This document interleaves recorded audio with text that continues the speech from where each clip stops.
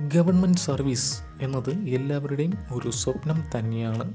അപ്പോൾ അതിനുവേണ്ടി P S C U P S C മറ്റ് അനുബന്ധ ആർ ആർ ബി എല്ലാവരും നിശ്ചിത എക്സാം നടത്താറുണ്ട്. അതിലേറ്റവും അവിഭാജ്യമായ ഘടകം എന്ന് പറയുന്നത് കണക്ക് തന്നെയാണ്. അപ്പോൾ ഏതിന്റെയും ബേസും ഈ കണക്ക് തന്നെയാണ്.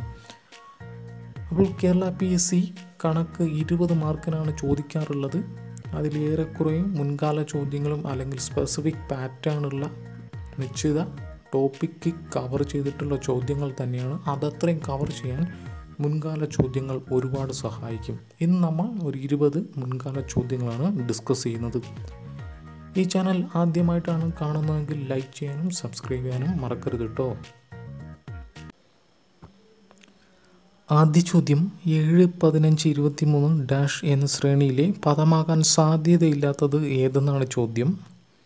അപ്പോൾ ഇങ്ങനെ ഒരു സീരീസ് കണ്ടാൽ ആദ്യം അതൊന്ന് എഴുതി അതിന്റെ പൊതുവ്യത്യാസം എത്രയാണെന്ന് നോക്കുക. ഏഴ് പതിനഞ്ച് ഇരുപത്തി മൂന്ന് പൊതുവ്യത്യാസം എത്രയാണ്? എട്ട് വീതമാണ് വ്യത്യാസം വരുന്നത്. ഏഴും എട്ടും പതിനഞ്ച് പതിനഞ്ചും എട്ടും ഇരുപത്തി മൂന്ന് അപ്പോൾ ബാക്കിയുള്ള സംഖ്യയിൽ വേഗത്തിലൊന്ന് കൂട്ടി നോക്കാം. ഇത് എട്ടായതുകൊണ്ട് ഒന്ന് പത്ത് കൂട്ടിയിട്ട് രണ്ട് കുറച്ചൊന്ന് വേഗത്തിൽ എഴുതാവുന്നതേ ഉള്ളൂ. നമുക്ക് കൂട്ടാം ഇരുപത്തിമൂന്നും പത്തും മുപ്പത്തിമൂന്ന് രണ്ട് കുറയ്ക്കുക മുപ്പത്തൊന്ന് എഴുതി. മുപ്പത്തിമൂന്ന് മുപ്പത്തൊന്നും പത്ത് നാൽപ്പത്തൊന്ന് രണ്ട് കുറച്ചു. മുപ്പത്തി ഒൻപത് എഴുതി. മുപ്പത്തൊമ്പതും പത്തും നാൽപ്പത്തൊൻപത് രണ്ട് കുറച്ചു നാൽപ്പത്തേഴ്. നാൽപ്പത്തേഴും പത്തും അൻപത്തേഴ് മൈനസ് രണ്ട് അൻപത്തി അഞ്ച് അൻപത്തി അഞ്ച് പ്ലസ് പത്ത് അറുപത്തഞ്ച് മൈനസ് രണ്ട് അറുപത്തി മൂന്ന് അപ്പോൾ ഓപ്ഷനിൽ കണ്ണോടിച്ച് നോക്കുക. ഇവിടെ ഒരു അറുപത്തി നാലുണ്ട് അപ്പോൾ അറുപത്തിനാല് വരില്ല. ഇവിടെ അറുപത്തി മൂന്നാണ് വരേണ്ടത്. അപ്പോൾ ഓപ്ഷൻ ഡി ആണ് ആൻസർ. അടുത്ത ചോദ്യം. പ്ലസ് ഗുണനത്തെയും ഇന്റു സങ്കലനത്തെയും ഡിവിഷൻ വ്യവകലനത്തെയും മൈനസ് ഹരണത്തെയും സൂചിപ്പിക്കുന്നുവെങ്കിൽ ഇരുപത്തെട്ട് പ്ലസ് പത്ത് ഇന്റു പത്ത് നാൽപ്പത് ദ ഹോൾ ബ്രാക്കറ്റ് മൈനസ് എട്ട് ഡിവൈഡ് ബൈ മൂന്ന് എത്ര? അപ്പോൾ ഇത് ബോർഡ് മാസ് റൂളിലാണ്. ആ വാല്യൂ അതുപോലെ ഒന്ന് ഇട്ട് കൊടുത്താൽ മതി. ആദ്യം ബ്രാക്കറ്റ് ഇട്ടു. സംഖ്യ എഴുതി ഇരുപത്തെട്ട്. അടുത്ത് പ്ലസ് ആണ് പ്ലസ് പ്ലസ്സിന് ഗുണനമാണ് കൊടുക്കുന്നത്. സംഖ്യ എഴുതി. അടുത്ത് ഗുണനത്തിന് പ്ലസ് ആണ് കൊടുക്കുന്നത്. പത്ത് പ്ലസ് നാൽപ്പത്. ബ്രാക്കറ്റ് ക്ലോസ് ചെയ്തു. ഇനി മൈനസിന് അവിടെ ഡിവിഷനാണ് കൊടുക്കേണ്ടത്. അടുത്ത് സംഖ്യ എഴുതി എട്ട് എഴുതി ഡിവിഷൻ എന്താ കൊടുക്കുന്നത് മൈനസ് സംഖ്യ മൂന്ന്. അപ്പോൾ ഇത്രയും ബോർഡ് മാസിൽ ചെയ്താൽ മതി. ആദ്യം ബോർഡ് മാസ് റൂൾ വേറെ ഒന്നുമില്ല ബോർഡ് മാസാണ് B bracket O of D division multiplication addition subtraction. Bracket ഉണ്ടോ? ഉണ്ട്. അപ്പോൾ ഇത്രയും ആദ്യം ചെയ്യണം. ഇരുന്നൂറ്റി ഇരുപത്തെട്ട് ഇന്റു പത്ത് ഇരുന്നൂറ്റി എൺപത് പ്ലസ് നാൽപ്പത് മുന്നൂറ്റി ഇരുപതെന്ന് കിട്ടും. ഇനി ചെയ്യേണ്ടത് ഡിവിഷനാണ് മുന്നൂറ്റി ഇരുപത് ബൈ എട്ട് നാൽപ്പത്. നാൽപ്പത് മൈനസ് മൂന്ന് മുപ്പത്തേഴ് എന്ന് കിട്ടും. ഓപ്ഷൻ എ ആണ് ആൻസർ. അടുത്ത ചോദ്യം. ഒന്ന് പോയിന്റ് ഏഴ് അഞ്ച് the whole square minus point two five the whole square divide by ഒന്ന് പോയിന്റ് ഏഴ് അഞ്ച് മൈനസ് പോയിന്റ് ടു ഫൈവ് അപ്പോൾ ഇവിടെ ക്രിയ ചെയ്യുന്നതിന് മുമ്പ് ബേസിക് ഇക്വേഷൻ ഇവിടെ ഒരു equation ഒളിഞ്ഞിരിപ്പുണ്ട്. A square minus B square by A minus B എന്ന ഫോർമാറ്റിലാണ് ഇവിടെ കൊടുത്തിട്ടുള്ളത്. നോക്കിയാൽ മതി. എക്ക് ഒന്ന് പോയിന്റ് ഏഴ് അഞ്ച് ബിക്ക് പോയിന്റ് രണ്ട് അഞ്ച്. ഇനി ഒരു ബേസിക് ഇക്വേഷൻ ഉണ്ട്. A square minus B square എന്താണ്? A minus B into A minus B into A plus B ഇതാണ് എ സ്ക്വയർ മൈനസ് ബി സ്ക്വയറിന്റെ equation by A minus B ഇനി എ ബൈ മൈനസ് ബി രണ്ടും cancel ചെയ്തു. ബാക്കിയുള്ളത് A plus B ആണ്. അപ്പോൾ തന്നിട്ടുള്ള ഇത് നമ്മൾ കൂട്ടി എഴുതിയാൽ മതി. ഒന്ന് പോയിന്റ് ഏഴ് അഞ്ച് പ്ലസ് പോയിന്റ് രണ്ട് അഞ്ച് കൂട്ടുമ്പോൾ രണ്ട് കിട്ടും. ഓപ്ഷൻ ബി ആണ് ആൻസർ. അടുത്ത ചോദ്യം. പന്ത്രണ്ട് സെന്റിമീറ്റർ ആരമുള്ള ഒരു വൃത്തത്തിൽ നിന്ന് അവൾ വൃത്തത്തിന്റെ ആരം എത്രയാണ്? പന്ത്രണ്ട്. എഴുപത്തിരണ്ട് ഡിഗ്രി കോണമുള്ള എഴുപത്തിരണ്ട് ഡിഗ്രി കോണമുള്ള ഒരു വൃത്താംശം സെക്ടർ വെട്ടിയെടുത്ത് ഒരു വൃത്തസ്തൂപിക ഉണ്ടാക്കി.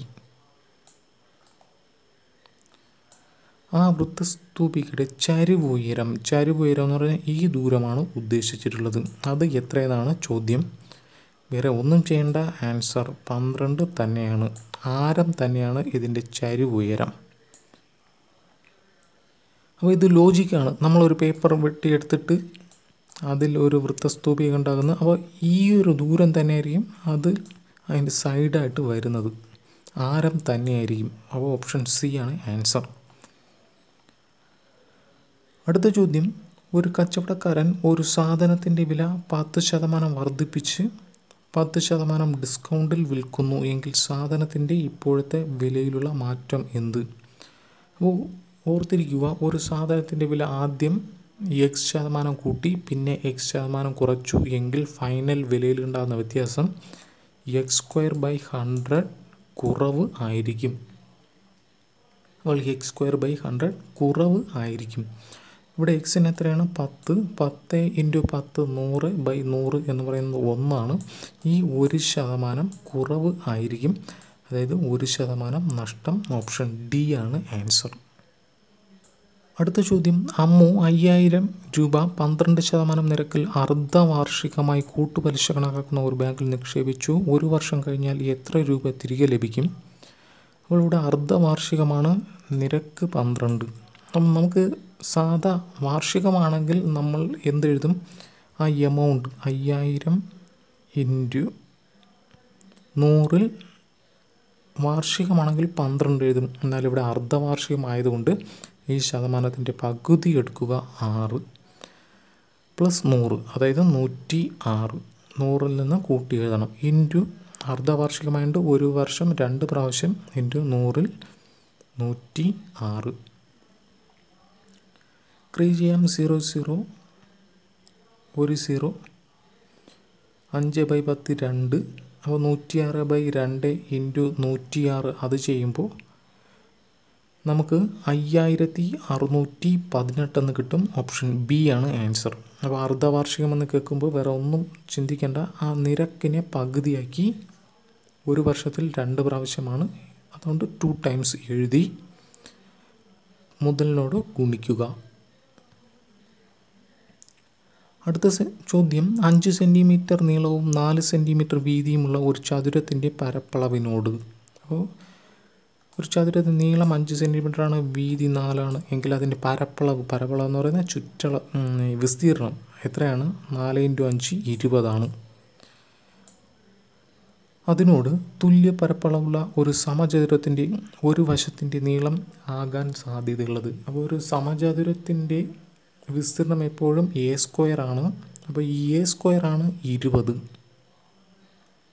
അങ്ങനെയെങ്കിൽ എ എന്തായിരിക്കും? റൂട്ട് ഇരുപത് ഓപ്ഷൻ ഡി ആണ് ആൻസർ.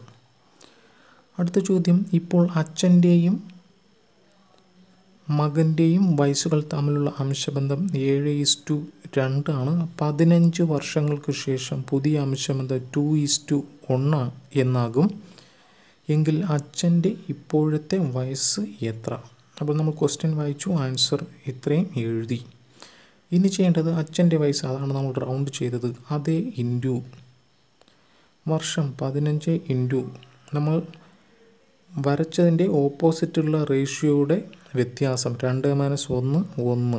ഡിവൈഡ് ബൈ ഇതിനെ ക്രോസ് ചെയ്ത് ഗുണിച്ച് കുറയ്ക്കുക. ഒന്ന് ഇന്റു ഏഴ് ഏഴ് മൈനസ് രണ്ട് ഇന്റു രണ്ട് നാല്. ഏഴ് മൈനസ് നാല് മൂന്ന്. ക്രിയ ചെയ്യാം. അഞ്ച് മൂന്ന് പതിനഞ്ച് ഏഴ് ഇന്റു അഞ്ച് മുപ്പത്തഞ്ചാണ് ഓപ്ഷൻ സി ആണ് ആൻസർ അടുത്ത ചോദ്യം ഒരു കാർ മണിക്കൂറിൽ എഴുപത്തിരണ്ട് കിലോമീറ്റർ വേഗതയിൽ സഞ്ചരിക്കുന്നെങ്കിൽ പതിനഞ്ച് മിനിറ്റ് കൊണ്ട് എത്ര മീറ്റർ സഞ്ചരിക്കും? ഒരു കാറിന്റെ വേഗത മണിക്കൂറിൽ എഴുപത്തിരണ്ട് അതായത് ഒരു മിനിറ്റിൽ എഴുപത്തി രണ്ട് ബൈ അറുപത് കിലോമീറ്റർ സഞ്ചരിക്കും. ഒരു മിനിറ്റിൽ നമുക്ക് കാണേണ്ടത് പതിനഞ്ച് മിനിറ്റിൽ ഇന്റു പതിനഞ്ച്. ഇനി കിലോമീറ്റർ പെർ അവറിനെ മീറ്റർ മീറ്ററിലാക്കാൻ എന്ത് ചെയ്യും? ആയിരം കൊണ്ട് ഗുണിക്കും ഇന്റു തൗസൻഡ് ക്രീ ചെയ്യാം. രണ്ട് മൂന്ന് ആറ് അഞ്ച് മൂന്ന് പതിനഞ്ച് എഴുപത്തിരണ്ടിൽ മൂന്ന് ആറ് മുപ്പത്താറ് ഇന്റു അഞ്ച് ചെയ്യുമ്പോൾ നമുക്ക് നൂറ്റി എൺപത് കിട്ടും. പിന്നുള്ളത് രണ്ട് സീറോ. അവ പതിനെണ്ണായിരം ഓപ്ഷൻ സി ആണ് ആൻസർ. അടുത്ത ചോദ്യം വേറിട്ടത് ഏത്? വൃത്തം സമചതുരം ത്രികോണം ലംബകം. ഏതാണ്? വൃത്തമാണ്. ബാക്കിയുള്ള എല്ലാത്തിനും സ്പെസിഫിക് കോണും വശങ്ങളും ഉണ്ട്. വൃത്തത്തിന് ഇവ രണ്ടും ഇല്ല. അൻപത്തൊന്ന് കുട്ടികളുള്ള ഒരു ക്ലാസ്സിലെ ഇരുപത്തൊന്നാം റാങ്കുകാരനാണ് രവി എങ്കിൽ പിന്നിൽ നിന്ന് എത്രാമത്തെ സ്ഥാനത്താണ് രവി. അപ്പോൾ മൊത്തം അൻപത്തൊന്ന് കുട്ടികളുണ്ട്. രവിക്കിപ്പോൾ റാങ്ക് ഇരുപത്തൊന്നാണ്. എങ്കിൽ രവിക്ക് മുന്നിൽ എത്ര പേരുണ്ട്? ഇരുപത് പേരുണ്ടെങ്കിൽ ഈ രവി ഇരുപത്തി ഒന്നാമത് ആകത്തുള്ളൂ. അപ്പോൾ ഇവിടെ ഇരുപത് ഇവിടെ ഒന്ന്. ബാക്കി ഇവിടെ മുപ്പത് ആളുണ്ട്. അപ്പോൾ ഇവിടെ മുപ്പത് ആളുണ്ട്. ഇവിടെ രവി നിപ്പുണ്ട്. മുന്നിൽ ഇരുപത് പേരുണ്ട്. അപ്പോൾ മൊത്തം എത്ര പേരെ? അൻപത്തി ഒന്ന് പേരായി. എങ്കിൽ പിന്നെ നിന്നും എത്രാം സ്ഥാനത്താണ് രവി എന്ന് ചോദിച്ചാൽ ഈ മുപ്പത് ഇത്ര ആളുണ്ട് രവി ഇവിടെയാണ് നിൽക്കുന്നത്. അപ്പോൾ മുപ്പത് പ്ലസ് ഒന്ന് മുപ്പത്തൊന്ന് ഓപ്ഷൻ സി ആണ് ആൻസർ അടുത്ത ചോദ്യം സ്കൂൾ എന്നത് O O D K K H എന്ന രഹസ്യ കോഡ് നൽകിയാൽ സ്റ്റുഡന്റ് എന്നതിന്റെ കോഡ് എന്ത്? അപ്പോൾ നമ്മൾ എ ബി സി ഡി ഒന്ന് മൊത്തം ഇരുപത്താറ് വരെ എഴുതുക. അപ്പോൾ ഇതിൽ വന്നിരിക്കുന്നത്. എസ് കഴിഞ്ഞ് ബാക്കിലോട്ട് മൂന്ന് ലെറ്റർ കഴിഞ്ഞിട്ടാണ് ഒ വരുന്നത്. സി കഴിഞ്ഞിട്ട് ബാക്കിലോട്ട് മൂന്ന് ലെറ്റർ കഴിഞ്ഞിട്ടാണ് ഒയ് വരുന്നത്. അതായത് ഇതിന്റെ ബാക്കിലോട്ടുള്ള മൂന്ന് ലെറ്റർ കഴിഞ്ഞിട്ടാണ് ഇത്രയും വരുന്നത്. അതേപോലെ സ്റ്റുഡന്റിന് എസ് ഒ തുടങ്ങും. ടി വരുന്നത് ടിക്ക് മൂന്ന് ബാക്കിൽ പി വരും. യുവിന് തൊട്ട് ബാക്കിൽ ക്യൂ വരും ഡിയുടെ മൂന്ന് കഴിഞ്ഞിട്ട് ഇസഡ് വരും. ഇ മൂന്ന് കഴിഞ്ഞ് എ വരും. എൻ മൂന്ന് കഴിഞ്ഞ് ജെ വരും. ടിക്ക് ബാക്കിലോട്ട് മൂന്ന് കഴിഞ്ഞ് പി വരും. അപ്പോൾ ഇത്രയും ഉള്ളത് ഓപ്ഷൻ ബി ആണ്. ആൻസർ സമാന ബന്ധം കണ്ടെത്തുക സ്പോർട്സ് ക്രിക്കറ്റ് മാത്തമാറ്റിക്സ് ഡേഷൻ സ്പോർട്സ് ക്രിക്കറ്റാണ് മാത്തമാറ്റിക്സിലെ ഒരു ഘടകമാണ് ജിയോമെട്രി ജാമതീയ രൂപം. അപ്പോൾ അതിന്റെ ആ ഒരു ഘടകം. അടുത്ത ചോദ്യം സമയം മൂന്ന് നാൽപ്പത്. വാച്ചിലെ മിനിറ്റ് സൂചിക്കും മണിക്കൂർ സൂചിക്കും ഇടയിലുള്ള കോണിന്റെ അളവ് എത്ര ഡിഗ്രിയാണ്? അപ്പോൾ കോണളവ് ചോദിക്കാൻ ഒരു ചെറിയൊരു മെത്തേഡ് ഇതൊന്ന് ഓർത്തിരിക്കുക. തന്നിട്ടുള്ള സമയം അതുപോലെ എഴുതി മൂന്ന് നാൽപ്പത്. ഇനി ചെയ്യേണ്ടത് ഈ മണിക്കൂർ അതുപോലെ എഴുതി മിനിറ്റിനെ അഞ്ച് കൊണ്ട് ഭാഗിച്ചു എട്ട്. ഇവ തമ്മിലുള്ള വ്യത്യാസം അഞ്ചാണ്. അഞ്ചിനെ മുപ്പത് കൊണ്ട് ഗുണിച്ചു നൂറ്റി അൻപത്. ഇനി നോക്കുക ഇവിടുത്തെ ലെഫ്റ്റ് സൈഡ് ചെറുതായതുകൊണ്ട് ഇതിന്റെ പകുതി മിനിറ്റിന്റെ പകുതി ഇതിനോട് കുറ ഇതിൽ നിന്ന് കുറച്ചു. നൂറ്റി അൻപത് മൈനസ് ഇരുപത് നൂറ്റി മുപ്പത് എന്ന് കിട്ടും. ഓപ്ഷൻ ഡി ആണ് ആൻസർ അടുത്ത ചോദ്യം. രണ്ടായിരത്തി പതിനാല് ജനുവരി ഒന്ന് ബുധനാഴ്ചയിൽ രണ്ടായിരത്തി പതിനാലിൽ സ്വാതന്ത്ര്യദിനം ഏത് ആഴ്ചയായിരിക്കും? നോക്കാം. വർഷം ലീപ് ഇയർ ആണോ അല്ല? രണ്ടായിരത്തി പതിനാലാണ് നമ്മൾ ജനുവരി ഒന്ന് കഴിഞ്ഞിട്ട് ബാക്കി ജനുവരിയിൽ മുപ്പത് ദിവസമുണ്ട്. പിന്നെയുള്ളത് ഫെബ്രുവരി ലീപ്പ് ഇയർ അല്ലാത്തതുകൊണ്ട് ഇരുപത്തെട്ട് ദിവസമേ ഉള്ളൂ. മാർച്ചിൽ മുപ്പത്തൊന്ന് ഏപ്രിൽ മുപ്പത് മെയ് മുപ്പത്തൊന്ന് ദിവസമുണ്ട്. ജൂൺ മുപ്പത് ദിവസം ജൂലൈ മുപ്പത്തൊന്ന് ആഗസ്റ്റ് പതിനഞ്ച് വരെ. ഇത്രയും കൂട്ടുമ്പോൾ ഇരുന്നൂറ്റി ഇരുപത്താറ് എന്ന് കിട്ടും. ഈ ഇരുന്നൂറ്റി ഇരുപത്താറിനെ ഏഴ് കൊണ്ട് ഭാഗിക്കുക ശിഷ്ടം രണ്ട് കിട്ടും. ശിഷ്ടം രണ്ട് കിട്ടിയത് കൊണ്ട് തന്നിട്ടുള്ള ബുധനാഴ്ചയിൽ നിന്ന് രണ്ട് കൂട്ടുക. വ്യാഴം വെള്ളി ഓപ്ഷൻ ബി ആണ് ആൻസർ. അടുത്ത ചോദ്യം എ ബിയുടെ മകളാണ്. അപ്പോൾ ബി ആണ് മുകളിലുള്ളത് എ ബിയുടെ മകളാണ്. അപ്പോൾ മുകളിൽ അച്ഛനും അമ്മയും ഉണ്ടെങ്കിൽ മുകളിൽ എഴുതും താഴെ മക്കൾ എഴുതും. ബി സിയുടെ അമ്മയും. അപ്പോൾ ബി സിയുടെ അമ്മയാണ്. അപ്പോൾ എ എയുടെ അമ്മയാണ് ബി സിയുടെ അമ്മയാണ് ബി. ഡി സിയുടെ സഹോദരനും അപ്പോൾ ഡി സിയുടെ സഹോദരനാണ്. അങ്ങനെയെങ്കിൽ ഡിയുടെ അമ്മയാണ് ബി. എങ്കിൽ ഡിക്ക് എയുമായുള്ള ബന്ധം മക്കൾ തമ്മിലുള്ള ബന്ധം. മക്കൾ തമ്മിൽ ഓപ്ഷൻ നോക്കുമ്പോൾ സഹോദരൻ ഓപ്ഷൻ സി ആണ് ആൻസർ. അടുത്ത ചോദ്യം ശ്രേണിയിലെ അടുത്ത സംഖ്യ ഇത് ഒന്ന് രണ്ട് ആറ് പതിനഞ്ച് മുപ്പത്തൊന്ന്. വ്യത്യാസം നോക്കുക. ഒന്ന് നാല് ഇവിടെ വരും.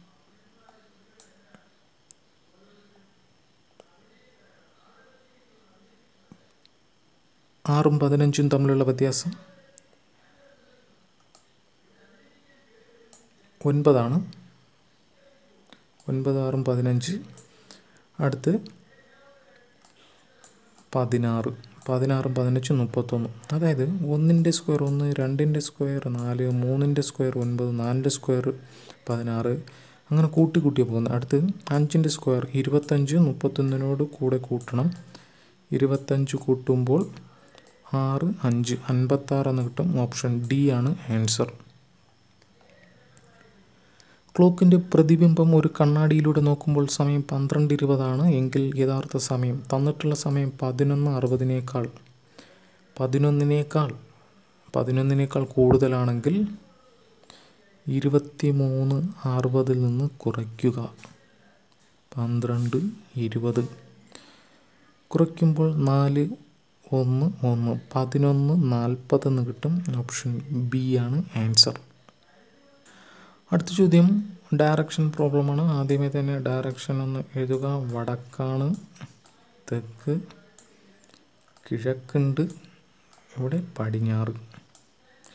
ഒരാൾ ഇരുപത് മീറ്റർ കിഴക്കോട്ട് ഇരുപത് മീറ്റർ കിഴക്കോട്ട് സഞ്ചരിച്ചു. ഇടത്തോട്ട് തിരിഞ്ഞ്. അപ്പോൾ ഇങ്ങോട്ട് നടക്കുന്ന ഒരാളുടെ ഇടത് ഇങ്ങോട്ടായിരിക്കും. തിരിഞ്ഞ് പതിനഞ്ച് മീറ്റർ സഞ്ചരിക്കുന്നു. അതിനുശേഷം വീണ്ടും വലത്തേക്ക് തിരിഞ്ഞ് ഇരുപത്തഞ്ച് മീറ്റർ സഞ്ചരിക്കുന്നു.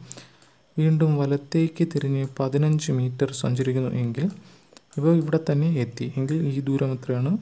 ഇത് മുതൽ ഇതുവരെ ഇരുപത് ഇത് മുതൽ ഇതുവരെ ഇരുപത്തി അഞ്ച്. ഇരുപതും ഇരുപത്തഞ്ചും നാൽപ്പത്തഞ്ചാണ് ഓപ്ഷൻ എ ആണ് ആൻസർ. അപ്പോൾ ഇത്രയുമാണ് ലളിതമായ കണക്കിലെ ചോദ്യങ്ങൾ. അപ്പോൾ മുൻകാല ചോദ്യങ്ങൾ ഒന്ന് വർക്കൗട്ട് ചെയ്ത് പഠിക്കുക.